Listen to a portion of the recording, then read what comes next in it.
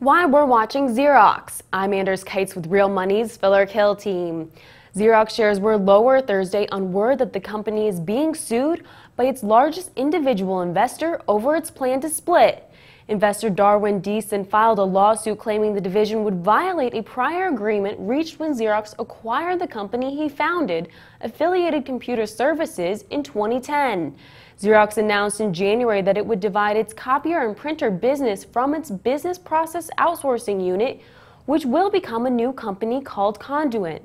As part of the division, Conduent would oversee affiliated computer services, which Deason alleges would leave him with an investment in an unattractive, low growth document technology business.